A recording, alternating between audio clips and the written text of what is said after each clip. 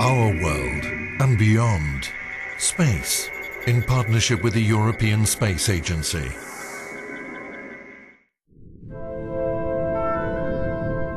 Since the dawn of time, the universe has been a never ending source of questions, with each answer leading invariably to another question. It's a source of progress and of innovations. Cosmologist Stephen Hawking is among those convinced of that. In the last hundred years, we have made spectacular advances in our understanding of the universe. People might well have argued that it was a waste of money to send Columbus on a wild goose chase. Yet the discovery of the New World made a profound difference to the old.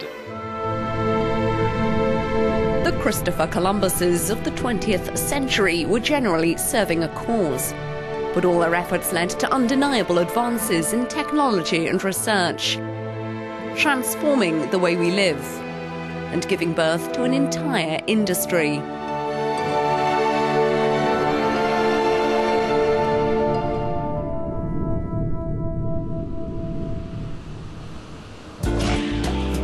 To illustrate these changes, we're heading to Valladolid in Spain.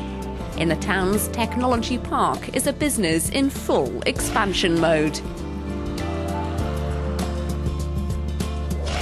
The company's well versed at putting its space know how into more down to earth situations.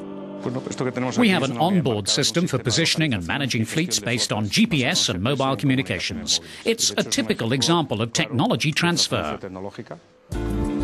Transfer of technology, that's the key. In this specific case, GPS, which allows a geographical positioning thanks to satellites linked to terrestrial mobile phones. In the 1990s, we decided to apply a strategy of diversification, emphasizing technology and the knowledge that we'd acquired thanks to our work in space. So we began working on GPS for the European Space Agency. That allowed us to understand this technology, and we moved into the field of fleet positioning and management. Nos lanzamos al desarrollo de sistemas de localización y gestión de flotas.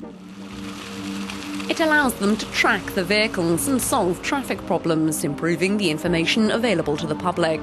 The system itself has been diversified and is now used in other sectors.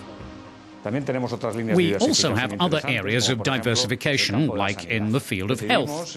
From 2000, we decided to launch a new line of products in the sanitary sector, an up and coming sector, and we've used the technology that we developed during simulations.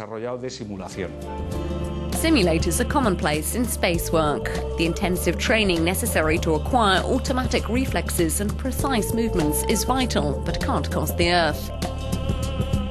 This simulator is used for surgeons to hone their skills. The business is a success story because ideas developed as a result of space work are now being applied to other sectors. The other advantage is jobs, especially jobs for young, talented, well trained people in the region. It's one of the best ways of combating the brain drain seen in many European countries.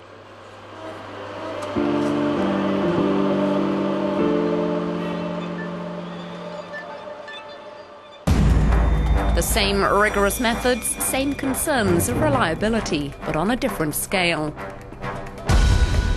We're in Vernon, in Normandy. It's here that one of the biggest engines in space is assembled and tested amid tight security. Vulcain, the main motor of Ariane 5, can deliver a thrust of 135 tons over nine minutes. In the assembly hall of Snecma, part of the industrial group Safran, there's a newcomer, Vinci, the engine that'll power Ariane's upper stage. Vinci is a beautiful name for a great European project.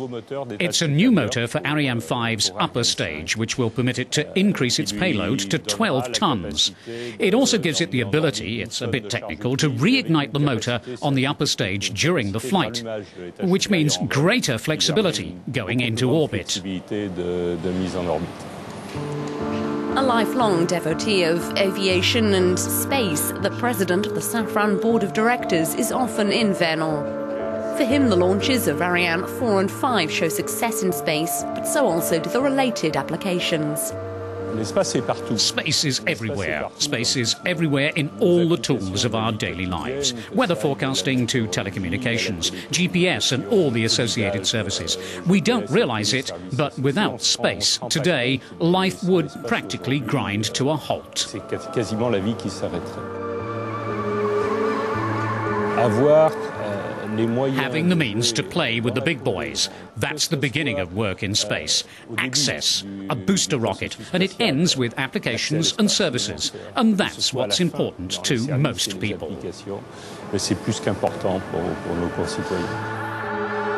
A space engine's a complicated object. Workers assembling delicate special alloy tubes and bolts in order to harness the power of 10 TGVs. Skilled hands and expertise are vital. Les personnes qui participent à ces aventures-là the people who take part in these adventures are passionate people who are confronted with absolutely rigorous performance demands. We want to see this spirit throughout the group. You know, making a brake or a motor on a plane when you come up against the challenges of space seems normal and almost simple, as the rigorous demands and professionalism required are exactly the same. And that's why space is something exceptional for which there's no substitute. The space industry is the melting pot where new ideas are born and developed. It's also the melting pot of people who communicate and exchange their know how to the benefit of the group project. Space also breeds a particular thought and work process. Euh, euh, to run a team of 22 European groups which work well together is a lot of work, but also very enriching on a cultural level. Euh, I believe very strongly in a Europe which moves forward and works, whatever the difficulties. The choice of betting on European autonomy in space and the space industry in Europe with all the countries, all the industries that want to contribute, I believe that's an exceptional adventure. When Europe dares to build space, it wins. As Stephen Hawking said, scientific and technological progress over the past 100 years have expanded the limits of our understanding of the universe. More and more space plays a role in the improvement of our daily lives. And it's only the beginning of a long journey. Spreading out into space will completely change the future of the human race. We have already driven rovers on Mars and landed a probe on Titan. But if one is considering the future of the human race, we have to go there ourselves.